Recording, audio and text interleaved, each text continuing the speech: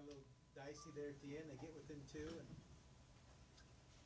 looked like you decided that you needed to step up a little bit right Yeah, uh, we ran a couple plays to bring me off some screens, and I got loose in my man. He did a great job guarding me the whole night, uh, staying with me, staying on my hip everywhere I went. And fortunately, I just got a little bit of open space. My teammates set me good screens and uh, gave me the ball right on point, and uh, I was fortunate that they went in for me late. You guys had, a- had a number of interesting stats. Hit a bunch of free throws, two turnovers.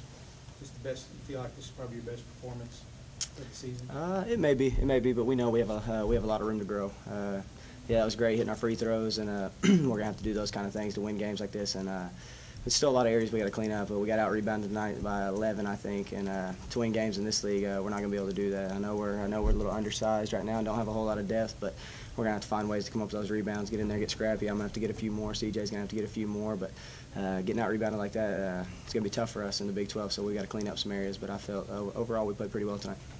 Does starting one and zero in league play, does that give you any kind of momentum, or is it just one game, get a long? Uh, I mean, I think it does. I mean, give you momentum. It's better than being 0 and 1. In this league, it's uh, it's tough to it's tough to get wins. So uh, you, you got to be sure you get those uh, get the ones at home. And uh, yeah, like I said, we're fortunate and excited. We're 1 and 0, but uh, got a lot of room to grow. Markel, what was you guys' mindset after you found out you're not going to have JP the rest of the way and you have to kind of uh, gut it out without him? Uh, going into the Big 12, we knew we wasn't gonna have JP, so uh, we basically told everybody to, that they got to step it up a notch. Whatever they wasn't doing before Big 12, they got to do a little bit more and uh, be more aggressive and uh, help rebound. We got to make up for that loss. How much, uh, you playing a lot of pain tonight? Because I don't think you were practicing the last few days, were you? Uh, yeah, I had a little pain, uh, but it's getting better day by day. Uh, just a little muscle that's tight on me, uh, slowing me down a little bit, but uh, it's getting better. Coach Ford's given us a couple of different descriptions. Can you kind of tell us exactly what your injury is? It's like a uh, hip bruise, like like on the side of my butt. Uh, it's like the one that you get in your thigh. Uh, I don't know how I get in my butt, but it hurt bad, and it's keeping my keeping me from extending my leg from running.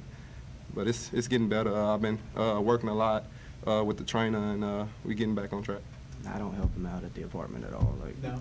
he asks me for treatment, I tell him massage strict, strictly Jason's job. Played pretty well tonight. Did you kind of sense that in practice as he's been uh?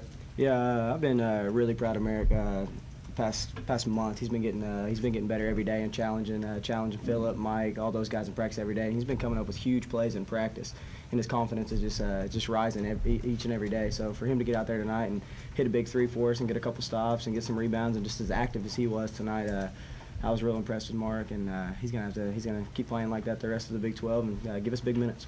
He's willing to do some little things too, and he looks like he sets good screens out up top.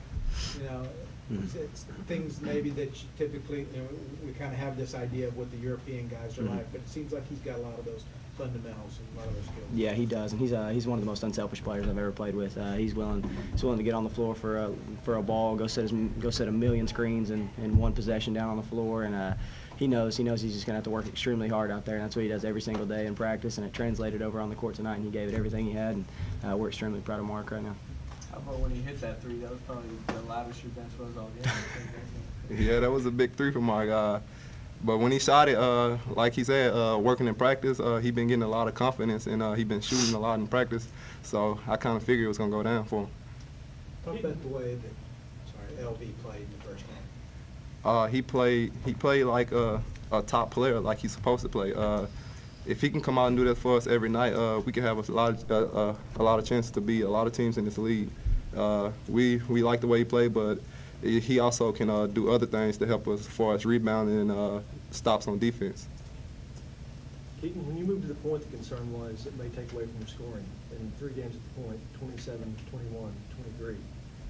Yeah, uh, I mean we've been pushing the ball a little bit more. Coach Ford's put in some different offenses, uh, setting back screens, coming off down screens, and uh, like I said earlier, uh, late in the game, and uh, in these offenses, my teammates have just been doing great jobs of setting me screens and uh, hitting me off, uh, hitting me off curls uh, right when right when I have a little bit of space, and uh, it's been working out for us the last couple games. Last couple of questions for these guys so we get Coach As Gillispie.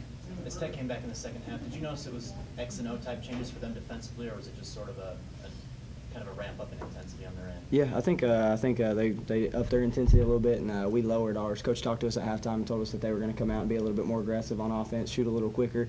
Uh, that we're going to have to bring the same intensity we had the first half, and uh, unfortunately we let it we let it down a little bit, and they came down hit some big shots and got them back in the game. But uh, we were fortunate enough we stick together at the end of the game and uh, came up with some big plays. Got a couple loose balls off the ground, got a couple rebounds that we needed, and uh, pulled off the win. Last question? I that was the last question? Appreciate it.